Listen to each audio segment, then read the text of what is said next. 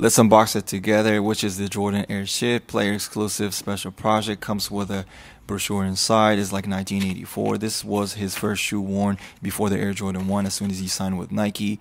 Michael Jordan used to wear compressed shorts, UNC colorway for every game. Nike went with a cracked leather vintage look, it feels like 1984, and a furry suede leather. Comes with an extra lace sail colorway matching the midsole. Also, the dusty bottom gives it the vintage look. Make sure to like and follow for more, and I'll see you on the next one.